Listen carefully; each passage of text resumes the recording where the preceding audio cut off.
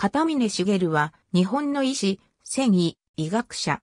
学位は医学博士。専門はウイルス学。長崎港メディカルセンター理事長。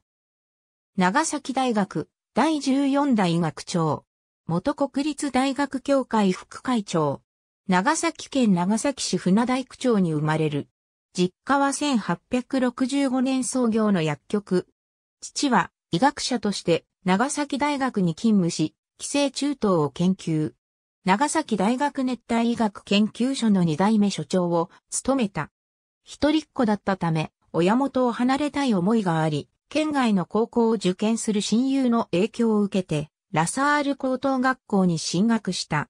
大学は関東か関西の理工学部への進学を希望していたが、当時の社会情勢から地元の長崎大学医学部へ進んだ。1976年、長崎大学医学部卒業。長崎大学医学部附属病院で研修医。その後、東京都内の都立病院に内科医として勤務した。しかし医学者としても学びたいと思うようになり、東北大学大学院医学研究科へ進学。著名なウイルス学者、石田中尾の研究室に入る。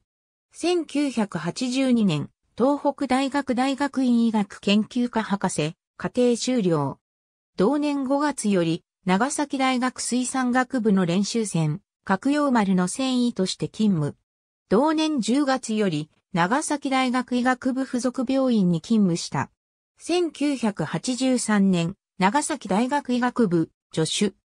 1985年11月アメリカ国立がん研究所国際研究員1989年長崎大学医学部講師、1991年度助教授、1998年度教授に昇格した。2002年から2004年までは長崎大学副学長を務めた。2008年学長に就任。学長就任は長崎大学の歴史では最年少だった。以後、2017年学長を退任するまで3期、長崎大学学長としては歴代最長の任期を務めた。在任中、各兵器廃絶研究センターや多文化社会学部を創設した。自身の研究ではプリオンを主な研究対象とした。2014年国立大学協会副会長。ありがとうございます。